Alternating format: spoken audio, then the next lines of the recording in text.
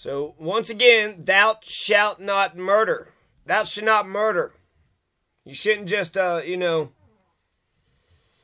thou shalt not rape. Thou shalt not steal. Thou shalt not hit. Thou shalt not, thou shalt not lie. But I would like to think that we can agree on the big things, right? And then that goes equally so for children. Horrid details emerge in the murder of a five year old girl after her mother and her boyfriend were charged with her death. So that's her mother. That's her actual mother. Emily Canales, little Emily Canales, had died in the hospital in January with her death ruled as a homicide caused by multiple blunt force injuries. Blunt force. So what they use? A bludgeon? Would they use a baseball bat? Brianne Escamilla, 27, the child's mother, her boyfriend, Matthew Urias, uh, U-R-I-A-S, Urias, Urias, Escamilla, E-S-C-A-M-I-L-L-A. So you got Brianne and Matt, right? Oh, Brianne and Matt. And what were Brianne and Matt doing? Well, they're arrested and charged with first degree murder on June 28th of a five year old. Urias was arrested on June 29th, while Escamilla was taken into custody on July 5th in Littleton, Colorado. Both are being held in the El Paso County Jail, could face additional charges. A police affidavit a police affidavit obtained by the Colorado Gazette suggested the young girl suffered at least 20 blunt injuries in the lead up to her death. 20 blunt injuries. 20 times. They thought it was okay to hit a little five year old girl. Were they just whacking her in the head? And they just got carried away, kept on whacking her, huh? She wouldn't eat her green beans, so they just, hey, sit there and eat your green beans, and then getting whacked and eat your green beans, and then go do the dishes, and then go do the, go do all the tobacco work. A bunch of migrant, is that what they were doing? She allegedly sustained severe injuries, including lung contusions, rib fractures, several different hemorrhages rib fractures. So are they doing? Kick her in the side, punch her in the side. The affidavit revealed the girl's head was shaved at the time of her death. They shaved her head. You shave your head like I think of chemotherapy. I think of Britney Spears, right? When you're, I guess she was trying to, or to uh, humiliate them. They allegedly imposed as a punishment. Right, to humiliate. Both reportedly admitted to the abuse during several rounds of interviews following their arrest. Two days prior to her death, it's believed that Emily started to complain about stomach issues to her mother and Urias. A day later, she began fainting. Her mother allegedly dismissed her daughter's plea, suggesting the girls being dramatic. Yeah, I remember getting my arm broken. It feels like my arm's broken. Ah, quit being a baby. And what sucks is like when something's broke or you know somebody there's someone had their finger cut off, you gotta you gotta replace that as quick as possible. You might even if you were to pl- replace it immediately, there's still gonna be some. It's not gonna be perfect, but if you just sit it on ice and then wait a week later, she's got stomach issues. I knew a one woman who the tiniest little thing, you know, you, you want to like get mad at some people that are kind of like too much, but you got pieces of shit like this. Give me the too much. They, um, she had a sniffle. The kid had a sniffle, and they took her to the hospital just to be sure, just to be sure. And you know what? That's uh, to be on the safe side. Yeah, that's better to be on the safe side. And then look at her. Look at the mother. I just feel like um, is it jealousy? I mean, why would you why would you attack a little kid and keep attacking a little kid? Hitting them in the ribs, hitting them with blunt force. She fainted again, falling unconscious, prompting the two parents to call 911. Yeah, yeah, they accidentally kicked her in the stomach, and then that was it. She had internal bleeding and she needed to go to the hospital. But then they're like, oh man, if we go to the hospital, you know, people are going to know that uh, we kicked her in the stomach or whatever they did punched her in the stomach, took a baseball bat, who knows? They called January 13th and then they said that the girl had died later that day. But she was complaining about stomach pains, at least from what we know.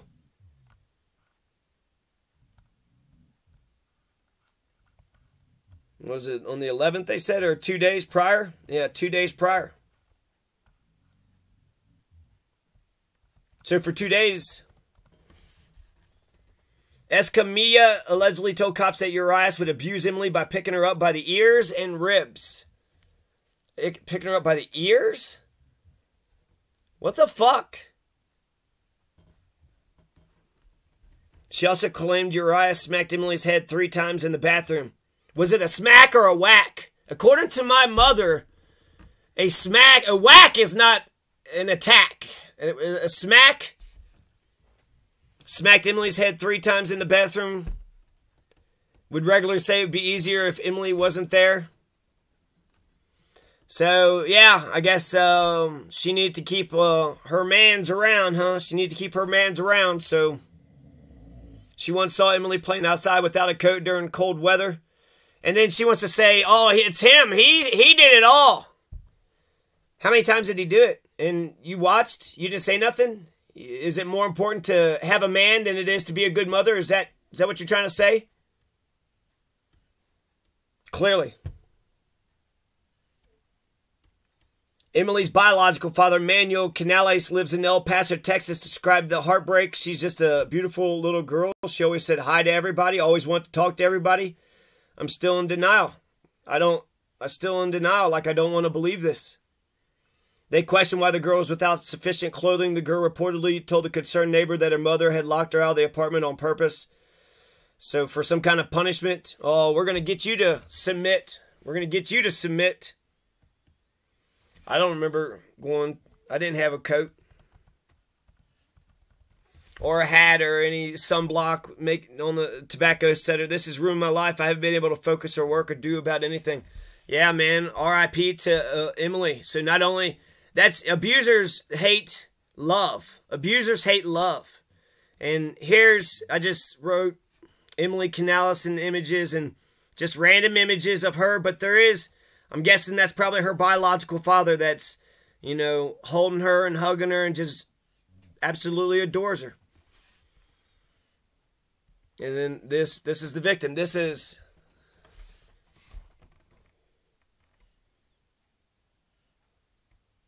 R.I.P. to Emily Canales. It does. It does. It has to be surreal. It has to be absolutely surreal. I remember I saw this one video. It was in Haiti and it was crazy. It was chaotic. There's a they have a bunch of busy streets and there's this big uh, truck that was driving by. This big truck drove by and like a Mack truck, and it went out of control and it wound up hitting a kid. And everybody else, I think, might have hit somebody else, but basically, what you see in the middle of the road was everybody stopped, and you got one father huddled around his dead child. Like, what just happened? No, hold on. What happened? We were going to the store. We were going to do this. Wait, no, what? What just happened?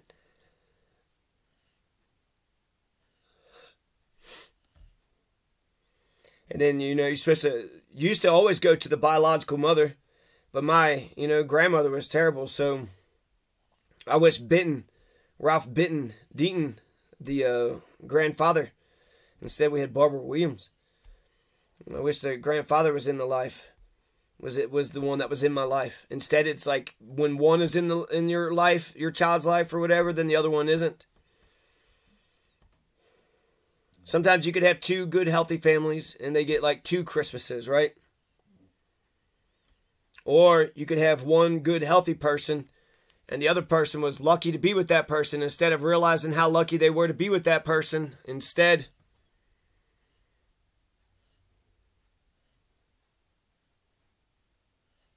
And I wonder if it's jealousy. Why would you? Because you need a man so goddamn much. You don't need a man in America at all.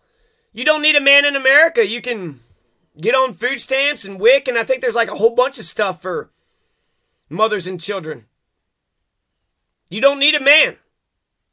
You choose to be with the man. You choose to be with the man. You don't need him. You, in your head, maybe like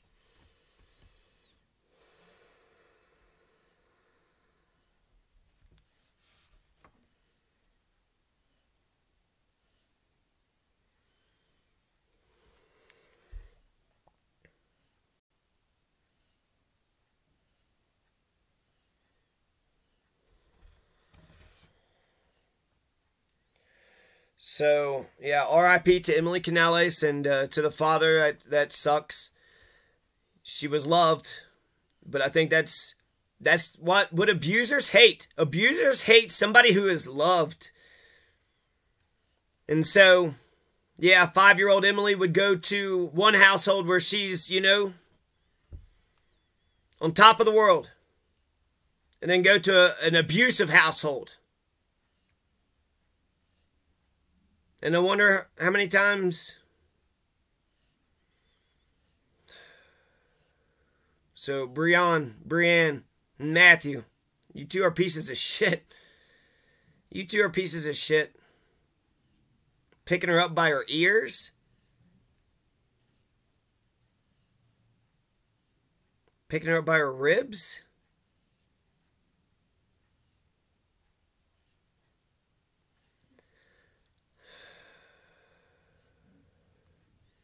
Coroner's office concluded June 14th the January death of Canales was a homicide, outlined the heavy abuse she had suffered lung contusions, extensive contusions, abrasions, rib fractures, several different hemorrhages. Her hair was shaved off at the time of her death as punishment by her mother. So they're sending her out in the cold, they're shaving her head. Man, that, that five year old must have been a hellion on wheels. That five year old you know, I, w- I just want to live in a in America where we don't, you know, the big things. Don't rape, don't murder, don't steal, don't hit. Those are big ones. Don't torture, don't enslave.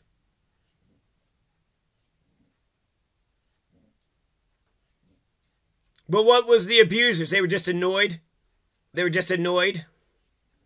What was their issues? What was their problem? She needed water and then she needed food. And then what? Help with her homework? With her uh, counting of the money? She, she needed help with her homework? She wanted someone to talk to her? Is that was that the thing that pushed him over the edge? Food, water, help with her homework? My God, now she wants us to acknowledge she's a human and talk to her like she's a person? She wants us to be mature adults that she can relate to and talk to. She wants to talk to people that actually have concern for her. Can you can you believe? You know, this is. Why does this happen? Part of me wants to say, what the fuck? To everybody, but the other part is, it's really, it is just these people. Because they're getting arrested and they're going to, you know, get, they're going to serve time for what they did. Canales, Emily Canales fainted several times, complaining of stomach issues. Urias told detectives that he told Escamilla they should call for an ambulance and he was worried about Emily Canales, but Escamilla told him that she was being dramatic and she thought Urias was also being dramatic. Everybody's just being dramatic. Everybody's just being dramatic. What is the pride cometh before the fall? Despite the described decline in health in multiple instances of fainting. Both Urias and Escamilla admitted to police they continued to hit and abuse Canales throughout the two days leading up to her death. Urias admitted to spanking Canales even on the day of her death, something he told detectives I regret it 100%.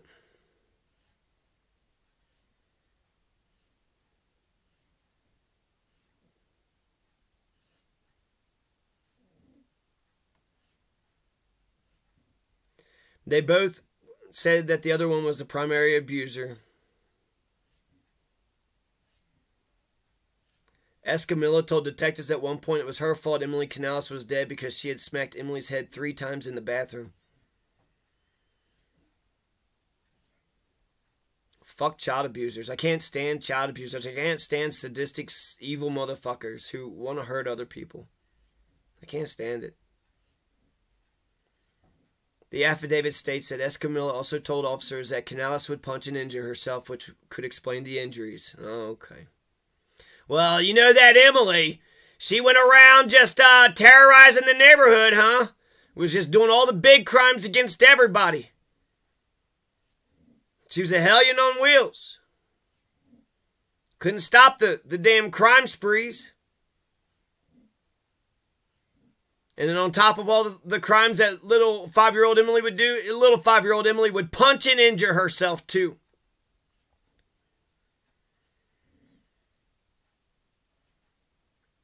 Urias arrested June 29th Escamilla was taken into custody a few days later, July 5th, both without incident. Both are scheduled to make their first appearances in Colorado's 4th Judicial District Court next week. Urias on Tuesday, Escamilla on Wednesday. Urias and Escamilla are both being held in El Paso County Jail on suspicion of first degree murder with the chance of additional charges being filed before their appearances in court next week. I, I don't understand any of this. They couldn't respect the five year old, but they're respecting the police. So they're telling the police, you know, and she said that she did it. So at the very least, that's negligent homicide. There's vehicular homicide, manslaughter, negligent homicide, and first and second degree murder. Those are the five murder charges in Colorado.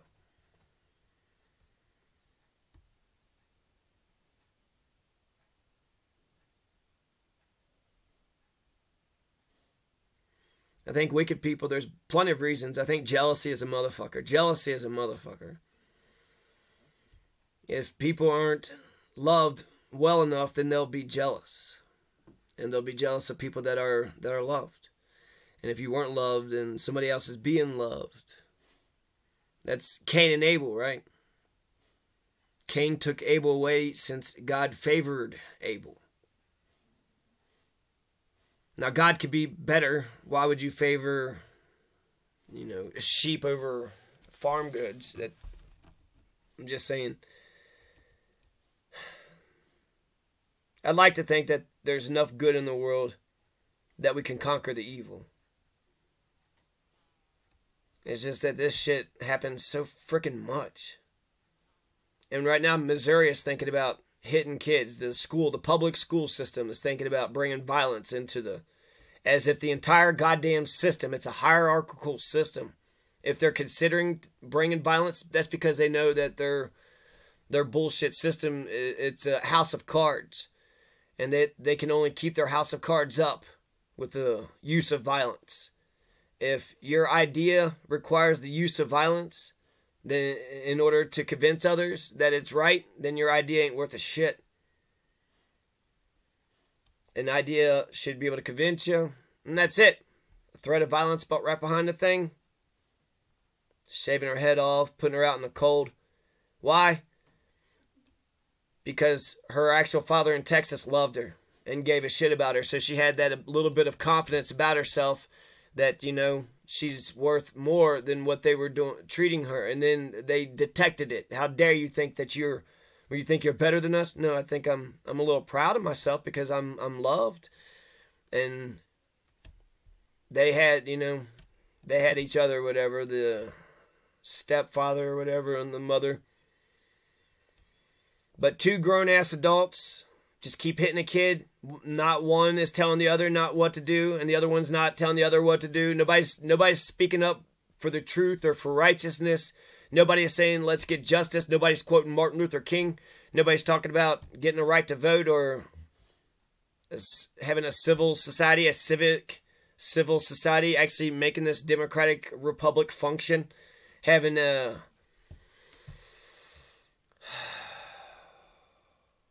an agrarian society.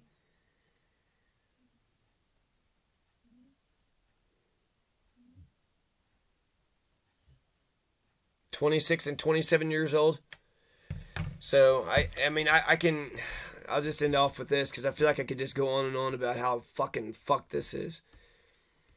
But ultimately, life is precious. Life is so freaking precious when he was talking about picking them up with the with, by the ribs, is he picking her up like this by the ribs? Is that what she's saying? Because picking them up by the ears, I don't even understand picking up by the ears. How does your ear not rip off? Aren't you? Um, I remember my uh, abuser grandma, Barbara Williams, would bend my ear.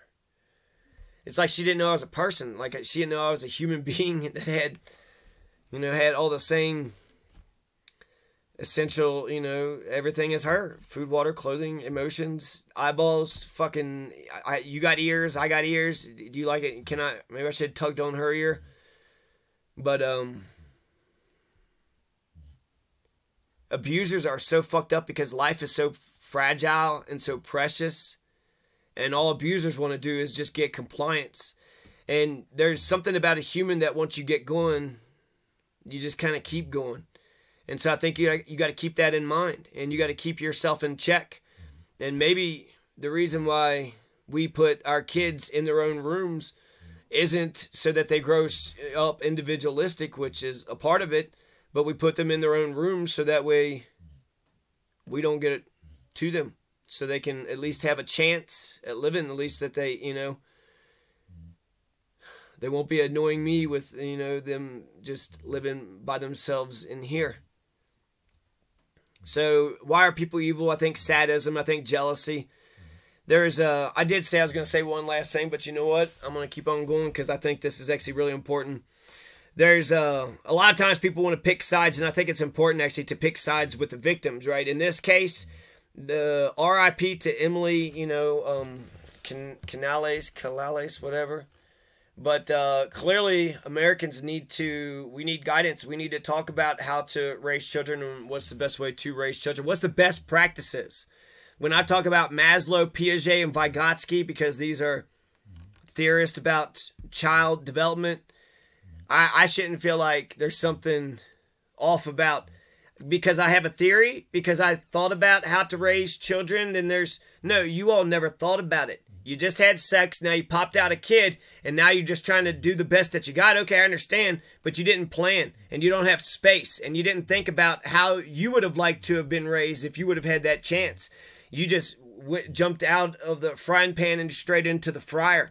So you just went from one, you know, kind of tough situation to another tough situation, and it might you might not ever be able to break out of that cycle of violence.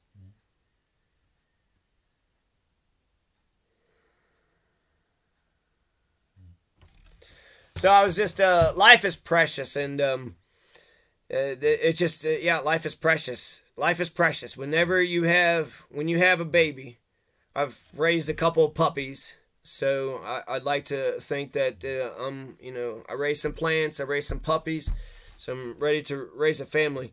But um, when you raise a puppy, they're they're they're not very smart. They don't have their eyes open. They don't know what they're doing. They need their mother. They need to be fed. They need warmth. They need uh, food, water, clothing. They need space. They're gonna piss and shit, so they're gonna need to you know have space to do that, and you're gonna have to clean it up, and you're gonna have to make sure the mother has all the food, water, and clothing, and shelter, and security. I mean, how the hell are you gonna you know nurse without security? You're gonna have to have security. So you're going to have to have your Maslow's hierarchy of needs and check into Piaget and Vygotsky because they all apply with um, with dogs as well as humans too. There's a cognitive development, and then there's uh, the zone of proximal development.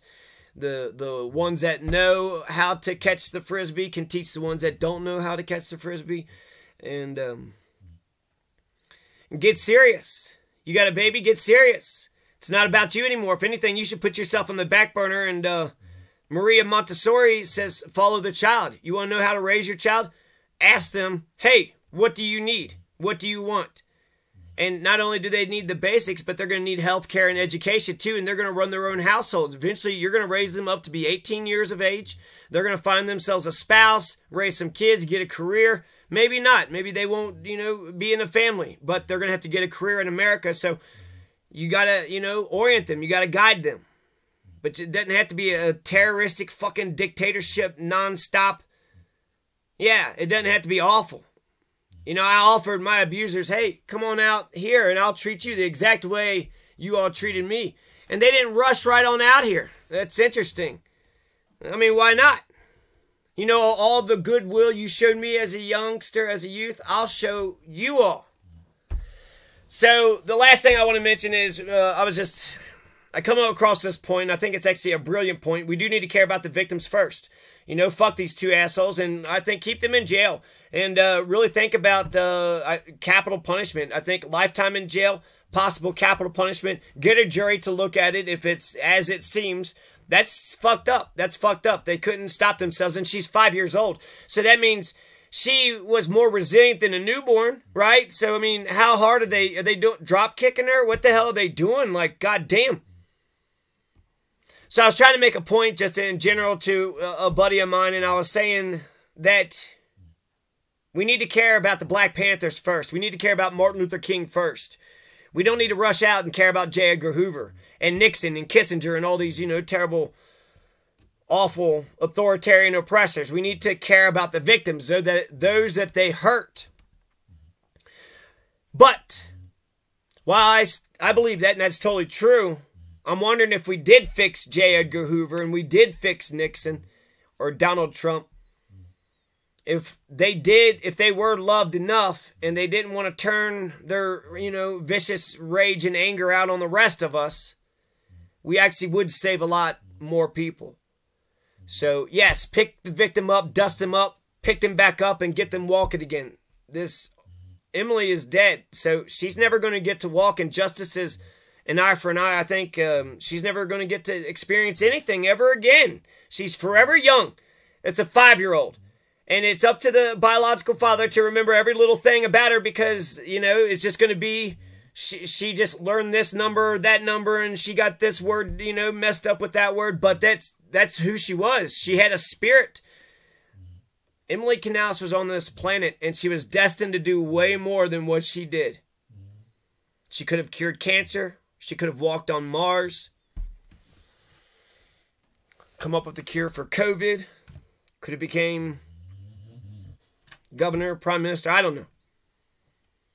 But they took everything away from her. And so should we make sure that these two have plenty of love?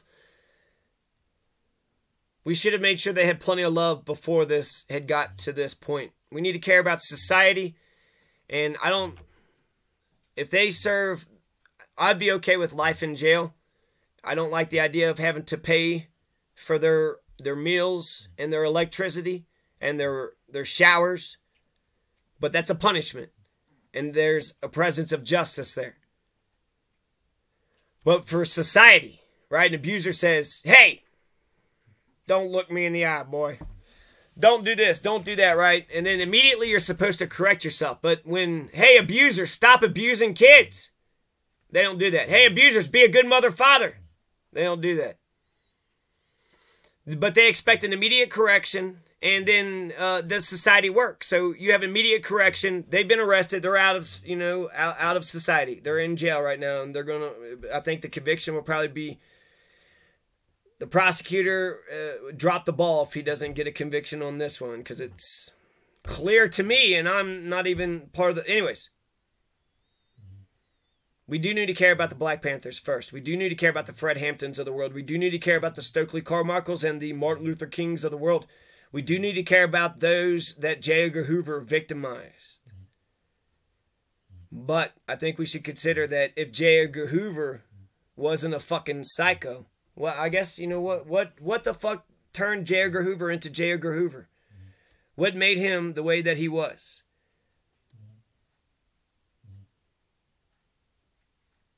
But um, yeah, we need to love the Black Panthers first. But once the Black Panthers, you've picked them up, dust them off, and they're you know up and walking, then we can have the conversation about picking up J. Hoover. What the fuck is your problem, man? What the hell is your problem, man?